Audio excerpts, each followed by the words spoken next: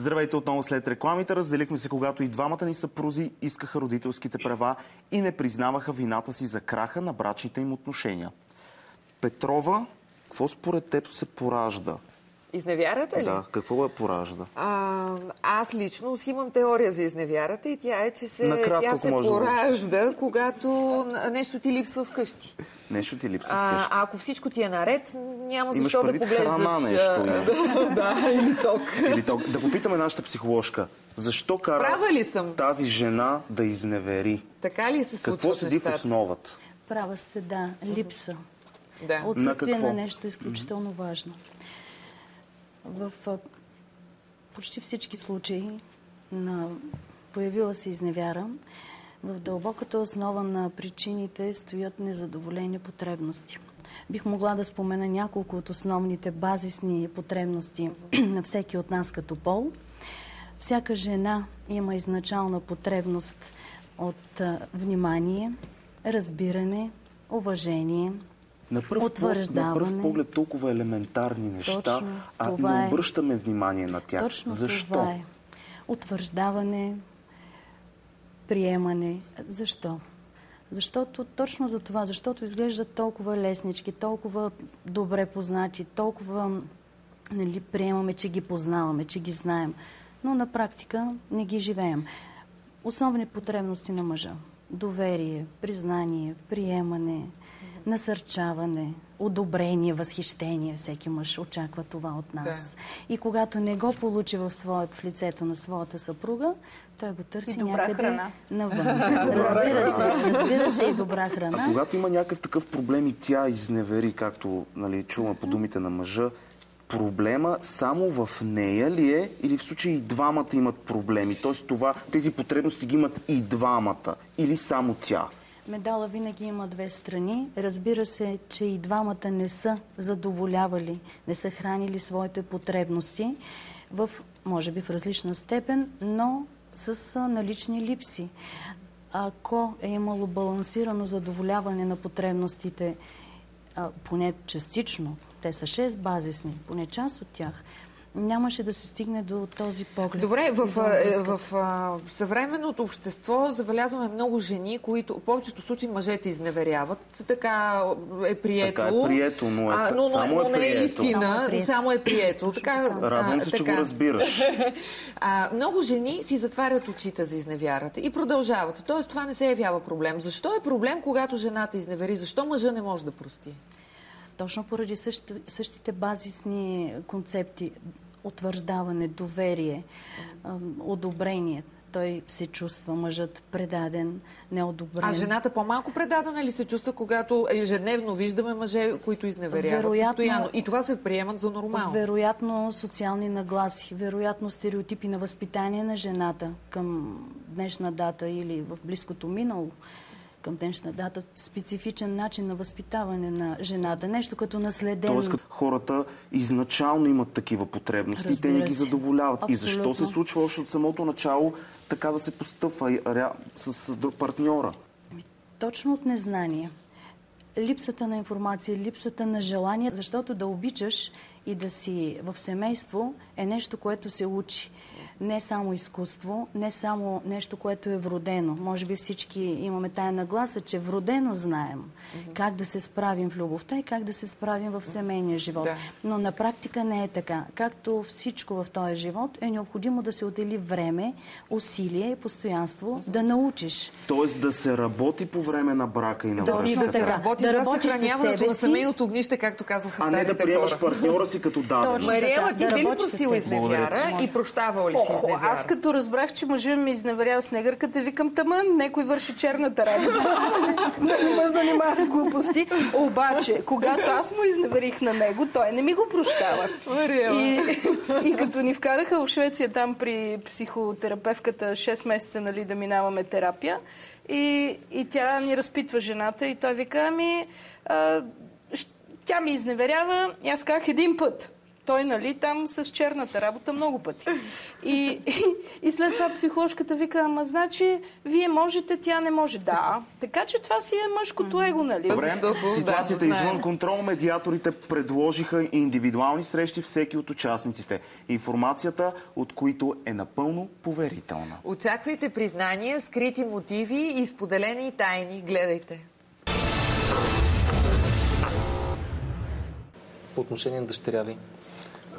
По отношение на дъщеря ми, значи, това дете си е все пак мое и аз ще настоявам да си, го, да си е при мене. Ако пък се стигна до по-сериозни работи като съд, тогава ще настоявам да го виждам и то във възможно най-големия период, който е Много позволен. разширен режим на лични контакти. Как бихте разпределили грижите по Мария, така че да е добре за нея и да е справедливо според вас? Ами ето, живее си при мене, аз си работя, издържам си, я, тя ще продължи своето обучение, както е най-добре за нея, защото поне за това в миналото се споразумяхме с майка и а, разбира се, ако де, съда отсъди а, детето да е при мен, ще дам а, право на майката да я вижда, защото все пак Колко? е... Колко? Ами... Смятам, че да кажем е, два уикенда в месеца тя да я вижда е добре. А ако вие бихте бил родителя, при когото детето не живее, а се вижда с него, колко време смятате, че би било добре? Два пъти в месеца, Да. Четвъртък, петък, събота и неделя. А това го предлагате независимо е отглеждащия родител, така ли? Тоест това би бил графика Ако и се за бащата стигне, и за майката. ако се стигне до... Ако няма допълнителни условия от нейна страна, аз лично, по, да, мога и да склона, да кажем. Четвъртък, петък, събота, неделя. Ако са родителските права на името, на, т.е. На, в полза на Силвия. Това би било желанието на Стефан. И по отношение на вакансиите, Ами по отношение на вакансиите по-равно. по-равно вакансиите. А по отношение на семейното жилище, в такъв случай, ако при вариант, който Мария остане а, при майка си, смисъл родителските права бъдат а, на майка й, А, значи, малкото жилище на името на Мария пазиме за когато ще стане 18 годишна да. Да. си живее. А, ако ако родителските права са на мене, аз мога да живея в голямото жилище с Мария. семейното. Семейното, да. Ако пък тогава родителските права отидат при майката, аз мога да отида в жилището на Мария в следващите 5 години, докато тя стане на 18, пък тогава вече има... Да, друго ще... Добре, да значи ние така или иначе с вас обсъждаме два варианта. Вариант едно, при който Мария, родителските права, вие ги упражнявате за Мария. Точно така. А, и режима на другия родител е четвъртък, петък, събота, неделя два така. пъти. И втори вариант, при който обратното. Родителските права са за майка, а вие имате четвъртък, същия петък, събота, неделя и половината от вакансиите. Но говорихме за издръжка. Жилището също ще бъде за този, който... Прямо, да, А, родителските. да, спрямо родителските права. И за издръжката, какво мислите при такъв а, Да. режим? Ами, издръжка... Вие каква искате и каква сте готов да дадете Да. съответно?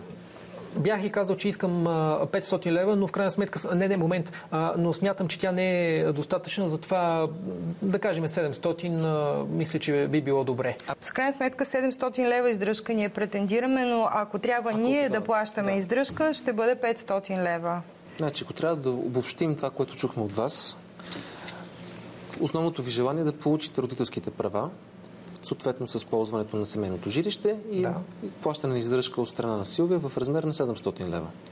В случай обаче, вие сте подготвени за такъв вариант, при който а, родителските права ще бъдат за нея, тогава вие сте съгласен тя да получи ползването на семейното жилище, както и сте готови да плащате издръжка до 500 лева, нали така? И съответно говорим за режим на виждане за детето, на контакти за детето, който да бъде малко по-разширен, т.е. два пъти в месеца, да. две седмици, четвъртък до неделя, през седмица. За това говорим. И евентуално предполагам, че Половината от вакансии. половината от вакансиите, да, зимни и летни, а, Да, да. и бихте ли така. желали по някакъв начин също така да имате варианти за виждане с детето, които не са строго регламентирани по този режим? Тоест, бихте ли се съгласили така да има виждане, ако вие получите родителските права за майката, съответно вие да получавате такива, ако бихте ли желали? този режим. Да. А, той ще бъде фиксиран в рамките на тези четвъртък, петък, събота, неделя, Да. но ние държим да има добри отношения, които да предполагат и извън уредения, добре. извън уредения вече режим Съгласни да се касае за всъщност да свобода. предадем това, за че държите на добрите отношения? Има ли нещо, което искате да не предаваме? Ами не, по-скоро всичко, което споменахме, дори това, че се чувства обиден, бихме искали да, да се Може знае от бъде другата страна. Предадено. Добре, благодаря ви. Ще помоля колегите да изведат И да поканят другата страна. Стефани, адвокат Иванова от студиото. най-доброто, което може да се направи, е да се опитаме да помогнем на всяка от страните да се постави на мястото на другата. Това, което направихме, например, беше, когато никой не искаше да се постави на мястото на другия, а, просто да подходим от позицията на един а, ам, независим човек и да попитаме, ако а, независимо кой родител отглежда детето, какво смятате за справедливо? Дали Стефан ще склони да преотстъпи родителските права, ще видим. Пред медиаторите изглежда разумен и спокоен. Но какво ли ще стане, когато Силвия отново се върне в спора? Бащата иска да се присъдат а, родителските права на него. А, каква е вероятността това да се случи? Защо в България, защо в България няма такава практика? Това е крайно. Не е вярно, че няма практика. В едно съдебно дело, когато има намесено дете, задължително се прави социален доклад.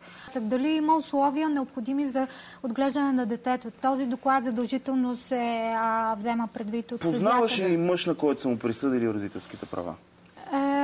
Аз познавам хора, които е, са в такива асоциации, специализирани неправителствени организации, които се борят за, как да кажа, да се обърне практиката в България. а, ето да, да, се обърне. Това е. Това доказва, А, че действително практиката е повече да се дават Аз не случайно казвам, че това не е съвсем така. Има и случаи, в които майката Но трябва да е си много зарязала пъти децата. по-добър бащата, за да се съгласи. и- и- такива Аз познавам лично баща, да, който си отгледал от сам децата и той баща от първи, нали, не от София, в Да, малък да град. попитаме а, психоложката как се съобщава такава новина на детето, че родителите предстои развод, ще се разделят, вече няма да живеят заедно и как да а, елиминираме психологическата травма.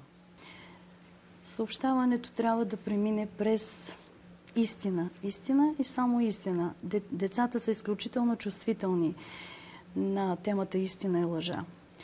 Разбира се, без детайли, без специфични особености, които касаят родителите като възрастни, но с много искреност, с елемент на споделяне, споделяне на чувства, споделяне на трудни моменти, споделяне с очакване за разбиране от детето, до толкова, доколкото детето би могло на съответната възраст да приеме и разбере. А, Втория момент е деликатното представяне на фактите и обективното им представяне. За съжаление, много родители приемат, че с времето травмата ще се излекува. Не е така. Травмата никога не се излекува. Ако тя само се тушира, има вероятност да остане белег. Белегът не боли със същата сила, но белегът напомня и белегът по някакъв начин... Добре, точно един така, е, като много бърз въпрос, лампа. който ми възниква, докато ви слушам толкова интересно Да. разказвате. По-добре ли е да останат родителите заедно? Вечната дилема, когато сме пред развод. Заради детето. Заради детето да се чувстват то добре и да няма тази травма и това клеймо а, на дете на разведени родители. Само в семейства, в които ескалират конфликтите в а, изключително висока степен, ескалират в максимални степени, само тогава разводът е удачен за психическото състояние на детето. Във всички случаи, всички други случаи на по-ниска степен на конфликтност и напрежение и насилие, включвам, разбира се, ниски степени, се препоръчва родителите да, Да търсят всички други средства за разреждане на напрежението, за туширане на конфликтите, за мъдър подход, мъдрост, преди да вземат решение за раздяла. Защото, само довършвам, защото раздялата на родителите, независимо в каква атмосфера живее детето, от, нали, уточних степените, Да. За детето е травма за цял живот. Това, само да кажа е нещо, това, което казвате, ме шокира. Тоест, ако бащата удари един, един единствен път, един шамар на майката, е по-добре да се съхрани брака, Така отколкото сочат за детето това ще е по-малка травма, отколкото родителите Така да се сочат разведат. изследванията, да. С... Какво мислиш това, което каза психоложката? При тебе, ти мислила ли си от тази Тя, гледна тя точка? много така културно жената го представи. А, та, аз съм обратно. Не- в това отношение не, не споделям мнението на колежката. Един шамар да ти ударят, дори не шамар, защото насилието не е само физическо. Да. А, бащата, ако се опитва да, да потисне майката по всякакъв начин, да й покаже, че тя е второ качество човек, това пак е насилие. Значи, дори ревността е насилие. Ма какво значи някой да ти диша във врата?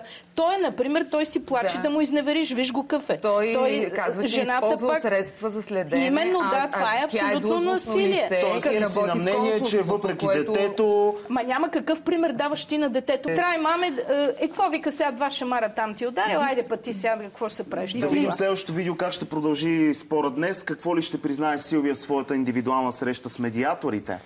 Аз обзалагам, че тя най-накрая ще ни каже дали е, подозренията на Стефан са основателни. Нека видим.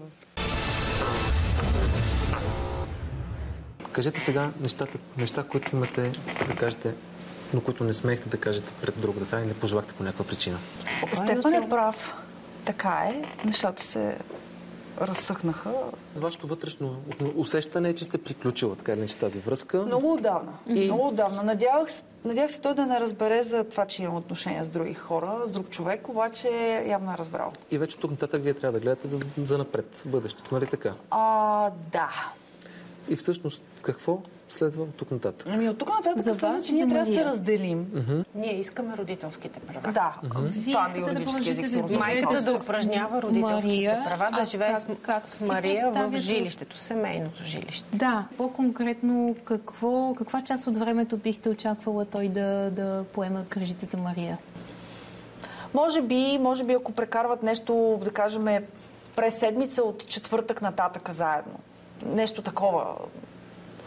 Но това означава той да я води на училище, защото... През да поема е пак първата да. и третата Да, седмица. първата и третата седмица, от четвъртък нататък заедно. Претендираме издръжка Довърши... в размер на 1000 лева. А, аз мисля, че вие казахте в общата ни среща друга сума. Аз съм си отбелязала 500 лева. Да, Какво yes. налага така? Значи Мария те, от, от, от тази година Мария, Мария започва да ходи така, на, че има нужда от повече на, на уроци, а, за да кандидатства, след което започва да се готви за сертификати за Кембридж. Това са много пари. Добре, а при, при едно такова предложение, обвързано с това първа, трета седмица от четвъртък до неделя, евентуално Мария да прекарва при баща си, а какво се случва с жилищата? Кой mm-hmm. къде живее? А ние не оставаме да живеем в сегашното ни жилище. Mm-hmm. Претендираме ползването на семейното жилище да бъде предоставено на майката. Колкото чухме, имате още едно жилище, което е на Мария. Ами, значи аз смятам да го давам под найем, за да може да направим така, че а, или а, аз, аз искам 500 лева издръжка и найема на жилището. Найема на жилището също ще е някъде от, там някъде, така че може да не е 1000 лева издръжката, може да е около 5-600 лева издръжка и найема от а, 80 квадратното жилище. В случай, че жилището не е дадено под найем, то се стремим бащата да гарантира 1000 лева издръжка на месец.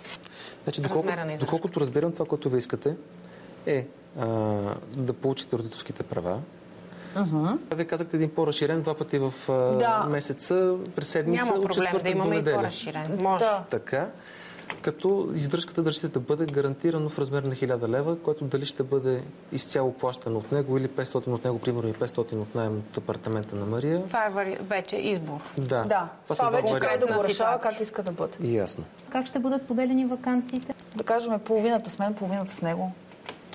Добре. Искам да ви попитам, има ли нещо, което може да се направи конкретно, така че да, да се подобрят отношенията? Нещо, което вие бихте направили? Можете ли да му кажете, че аз всъщност наистина много съжалявам, че се стигна до тук. А, вие той бихте искали да му го кажете? Ли, да. Защото той ще дойде Той никога не ме чува. Знаете колко пъти съм му се извинявала? Добре, ще създадем възможност да, да, да ви чуем. Моля колегите да поканят Стефан.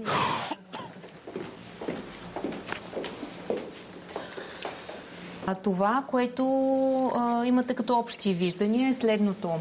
А, при положение, че а, родителските права останат за майката, с вас обсъждахме два варианта, А, при този вариант а, обсъждахме възможността а, да се виждате с а, Стефан, с а, дъщеря си доста свободно, като говорихме за вариант поне четвъртък, петък, събота и неделя през Точно седмица. Така. Получихме всъщност съгласие а, и същото виждане, да. Бре, а, по... може да бъде. Доста изненадващо съвпадна. Ние не го споделихме директно, но наистина имаше общо виждане за четвъртък, петък, събота и неделя. Има здрав празник. Като а, обсъждахме и въпроса за, за вакансиите. Отново също да бъде лятната вакансия поделена. Също така разбрахме, че няма проблем Мария, когато има желание самата тя извън този режим да се. А тук не съм съгласна. Категорично не съм съгласна. няма да Аз не мога да я спра да се вижда с теб, но не мога да ти гарантирам, че всеки път, когато тя поиска да се види с теб. Но това няма да се гарантира, понеже няма. Стефан, момент. Това няма как да се гарантира, понеже то не подлежи на вписване в едно такова споразумение. То е просто оговорка между вас. В началото на медиацията е най-нормалното нещо страните да влизат като на война, защото те се чувстват уязвени. В а, този случай чухме заявки от двете страни, че искат да запазят а, уважението помежду си, така че когато премине ефекта от емоционалната травма, смятам, че ще се получи да.